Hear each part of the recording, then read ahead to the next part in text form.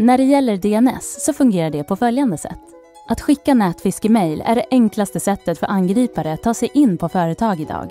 På så sätt kan de komma åt känslig information och i värsta fall lösenord. En dag kan det vara din kollega som klickar på en nätfiskelänk i ett mejl och det kan stå dig dyrt. Men det finns en lösning.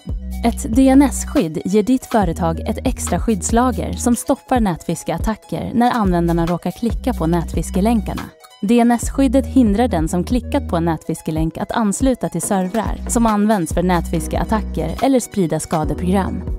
Tillsammans skyddar vi ditt företag i flera lager så att du kan fokusera på din verksamhet. Bredband2. För att alla har rätt till en trygg IT-miljö.